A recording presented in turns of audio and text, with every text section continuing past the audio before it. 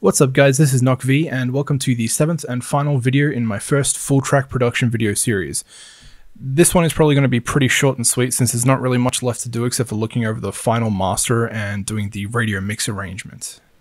Now I know this video is going to be a little bit jumbled up because I go between looking at the mastering of the track as well as doing the radio mix arrangement. But one of the first things I do is load up iZotope Insight which allows me to see the loudness levels of the track.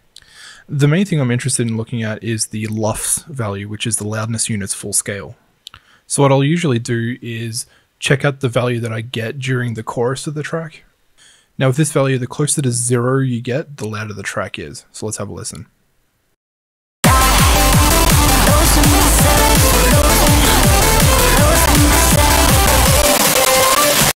So I'm getting around negative 4.5 to about negative 3.9 at the highest. Now this might be verging on a little bit too loud for a UK hardcore track.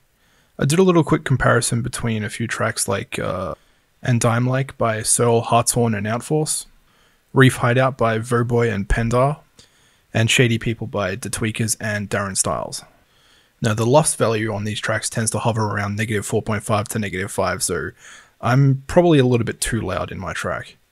I might go back and fix it up later, but I can't remember if I did, for now, I'm just going to work on the radio mix arrangement.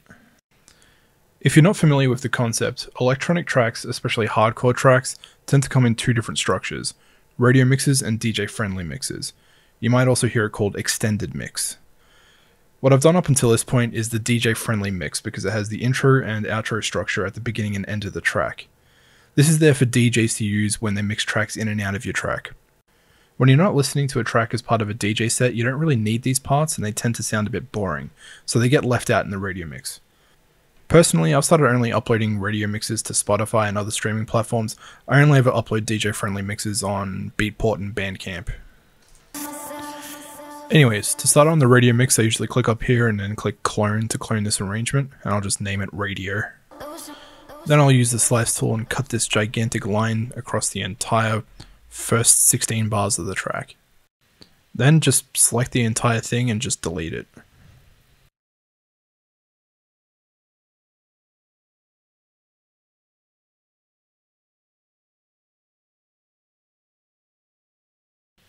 Missed a bit. Now I can select the entire track and just move it all the way over to the beginning. Missed more of it. There we go.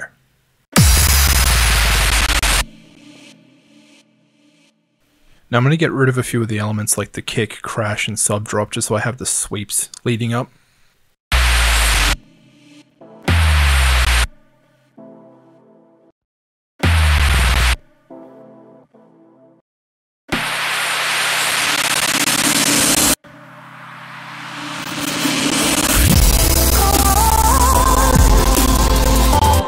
Apart from the underruns, that's sounding pretty good.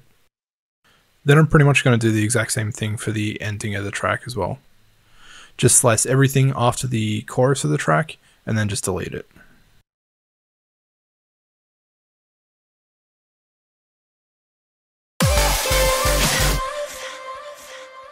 Now that probably ends a little bit too abruptly, so I'm just going to add a kick and a crash there.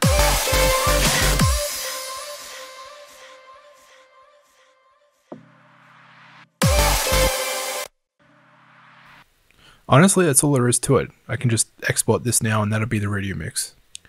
And it appears I didn't really go back and fix any of the mastering because I've ran out of footage and I this is pretty much it. I haven't done anything else. I think if I was to go back and fix it, I'd probably just like ease up on the compression in Newfangled Elevate, which would probably bring the loudness back to an acceptable level, but also bring back a little bit of clarity instead of sounding a little too overcompressed. Anyway, that's that pretty much just wraps this up the track is pretty much 100% done. Um, I, I, could go further and you know create cover art and uh, upload this through DistroKid, and that would kind of show the entire process from start to finish, like in terms of actually getting it onto platforms like Spotify and Apple Music. But I don't think that's really in the scope of of what I'm doing here. Next week, I'm going to upload a video which is kind of an element by element breakdown of this track, as well as release the full project file for this track, so make sure you check that out. My intention with the full track series was to make a different genre each time. I've already started with a new track for the second series, which will be J-Core, even though my kind of J-core is just UK hardcore with Japanese vocals. After that, I might do like future bass or something. As always, if you like this video, hit that like button, and if you want to see more, subscribe. If you want to support me, I do have a Patreon where you can get access to early releases, work in progress clips of all my tracks, as well as stems and project files for all the originals and bootlegs that I release. Check out the link in the description for that. I also have a Discord too, so if you want to join up and hang out, check out the link in the description for that too. Thanks for watching guys, and I'll see you in the next one.